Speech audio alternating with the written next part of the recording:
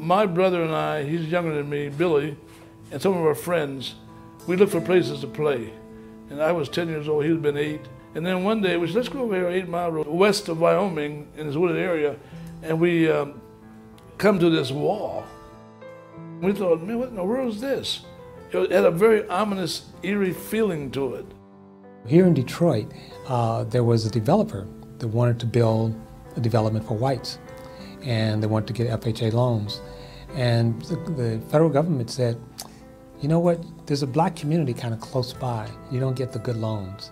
Uh, and so the developer, in an effort to try to fix that, built a six foot tall wall, a, foot deep, to separate the black community from the emerging white community. And then the federal government gave the loan.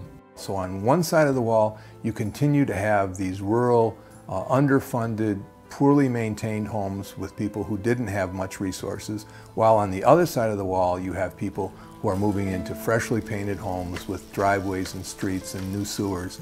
Folks who went in and, and, and signed on the dotted line and got those 30-year mortgages and looked at themselves with self-satisfaction and said, we just pulled ourselves up by the bootstraps, were in fact taking advantage of the FHA, providing them with resources and guaranteeing those funds.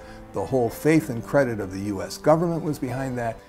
That makes a huge difference in a person's life, which side of that wall you end up on. But it's a symbolic wall and uh, it, it's an insultingly low wall in a certain way. Uh, the belief that that's all it took to separate the races and to maintain that separation. It is a very, very stark and ugly symbol of race discrimination, racial feelings, but also the dividing of resources uh, within our communities. The wall exists in many other communities, and it exists not necessarily the way the Birwood Wall does, but in other communities, the wall is a set of berms. There have been fences.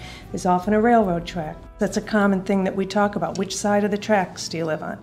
I have seen Detroit go demographically from a city that, uh, as a young man, uh, we probably had about 20% African American to currently it is uh, probably closer to 85%. It's been, a, it's been uh, hard to watch, uh, only because uh, you felt that the change uh, to, to a great extent resulted from people fleeing.